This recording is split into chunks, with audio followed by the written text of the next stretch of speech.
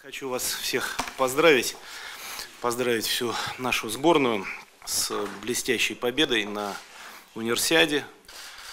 Мы действительно болели за всех. А, У кого-то там лучше получилось, у кого-то чуть хуже. Но в целом результат действительно очень хороший, потому что мы собрали все возможные награды, медали а, практически по всем дисциплинам. Вот. Ну и, конечно, это подтверждает статус нашей страны как а, спортивной державы.